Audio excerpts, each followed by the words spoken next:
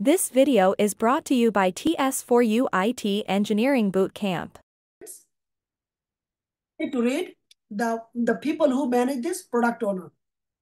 Okay? They create the the epic. Epic is a combination of the many features and the always managers go into look into the epic. They do not look into the user story. They do not look into the features.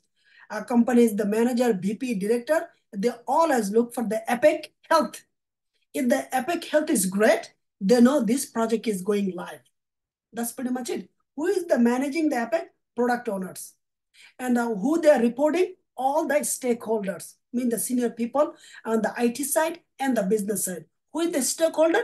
Stakeholders are the people who are actually the senior people. Combination of the business and the technologies means they're the decision maker. Business is the investor of the million dollar for the application development.